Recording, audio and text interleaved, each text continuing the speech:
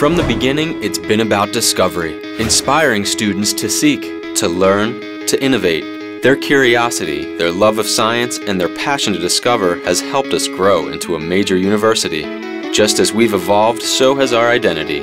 In the 12 short years since we became University of the Sciences in Philadelphia, we've already outgrown the name. Our history and heritage, our unique DNA remain the same, but now it's been transformed into a name and logo that expresses our growth, our broader reach, and our potential for the future. Presenting USciences, University of the Sciences, and the growing family of colleges within it. With this dramatic transformation, we are not just showing a new face to the world, we are inviting the world to discover a dynamic new presence, a place where healthcare and science converge.